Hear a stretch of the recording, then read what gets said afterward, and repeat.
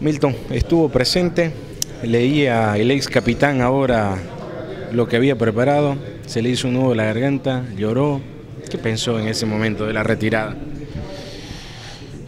Bueno, son, son momentos tristes ¿no? para, para los que han jugado fútbol.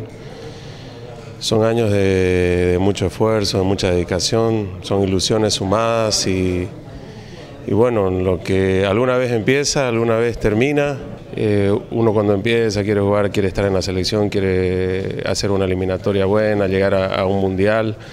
Y, y, son cosas que, que, van apareciendo y van llenando la cabeza, entonces llega un momento que se equipara con la fuerza que tenés y, ves lo que viene más adelante, el tiempo, ¿no? Entonces eh, eso varía de acuerdo a cada persona, pero creo que sí es bueno tomar decisiones y sobre todo eh, de cara al futuro quedarse tranquilo, ¿no?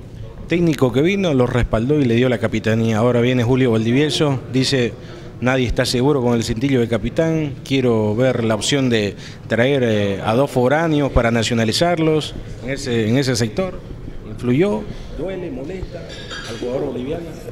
Eh, bueno, son temas a analizar, ¿no? Eh, yo siempre he dicho que lo más lindo en el fútbol son los resultados. Hoy por hoy es un nuevo proceso el que está empezando y, y, y vienen las eliminatorias. Eso es lo lindo del fútbol, cada uno escribe su propia historia. Eh, creo que Ronald tenía ya bastante tiempo en, la selección, obviamente, y venía pensando muchas cosas.